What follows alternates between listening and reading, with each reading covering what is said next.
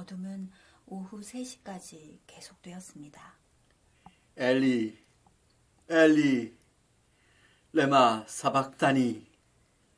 예수님께서 큰 소리로 부르짖으셨습니다. 저 사람 엘리야를 부르나 봐. 어떤 사람이 예수님께서 하시는 말씀을 듣고 말했습니다. 이 말씀은 나의 하느님, 나의 하느님, 어찌하여 나를 버리셨나이까? 라는 뜻이었습니다. 어떤 사람이 천에 신 포도주를 적셔 갈대에 꽂아 예수님께 올려주었습니다. 자, 목이라도 축여요.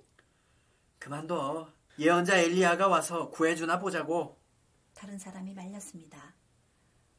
예수님은 다시 큰 소리를 지르시고 숨을 거두셨습니다. 바로 그때 성전 휘장이 위에서 아래까지 조금씩 찢어지고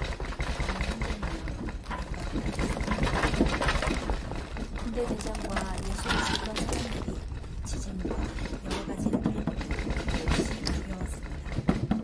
이 사람이야말로 정말 하느님의 아들이었어. 예수님을 처음부터 따르던 여자들도 이 광경을 지켜보았습니다. 날이 저물고 한 사람이 빌라도를 찾아왔습니다.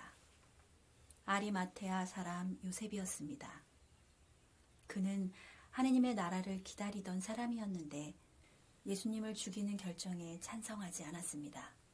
총독님, 예수님을 모셔가고 싶습니다. 그러세요. 허락합니다. 빌라도는 요셉의 부탁을 흔쾌히 받아주었습니다. 요셉은 숨을 거둔 예수님을 깨끗한 천으로 감싸고 자기 땅에 새로 파두었던 무덤에 예수님을 모신 다음 큰 돌을 굴려 무덤을 막았습니다. 맞은편에는 막달라 마리아와 또 다른 마리아가 이 일을 모두 지켜보고 있었습니다. 예수님께서 이곳에 묻히셨어. 가서 향기 좋은 기름을 가져옵시다. 그들은 집으로 돌아가 향유를 준비했습니다.